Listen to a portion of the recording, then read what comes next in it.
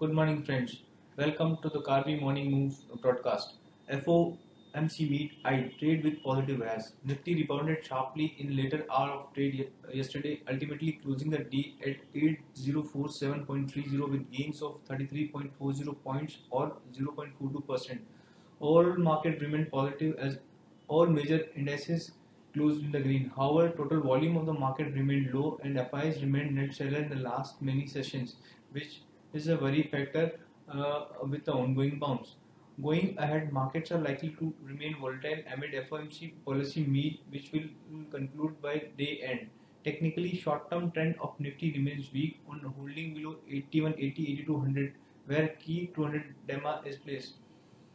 On the upside, immediate uh, resistance above 8060 is back near 8100 and 8120 levels, followed by 8100 8180 mark while on the downside immediate support for the nifty is at around 7940 level below which uh, losses may extend uh, uh, extend towards 7900 and 7850 levels uh, global uh, indices friends us uh, markets were up around half a percent or so with Dow Jones up by 0.64%, Nasdaq up by 0.51%, S&P 500 up by 0.57%, whereas the European markets uh, recouped their uh, earlier losses in the late trading session and closed the market flat by with FTSE 100 closing at minus 0.01%.